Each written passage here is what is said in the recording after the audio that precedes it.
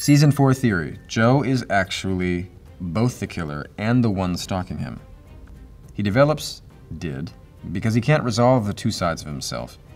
He can't make a decision or actually put in the work into changing himself. So he avoids dealing with himself and all his issues. You're right that he can't put the work into changing himself, but he's trying. I mean, he's trying to change. He's trying so hard. Pay for effort. I really think that the killer is Joe's brother, Jacob. I think that Jacob is seeking revenge on Joe for killing their mother and has been stalking him for several years.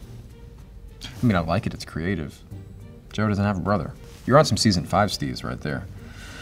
Oh, I guess he. Oh, you're right. He does have a half brother. Uh, oh snap. So I'm wrong. Joe does have a brother named Jacob. I just was informed by Vanity Fair, no less. That is a really good theory. It's the best one I've heard so far. You get the crown.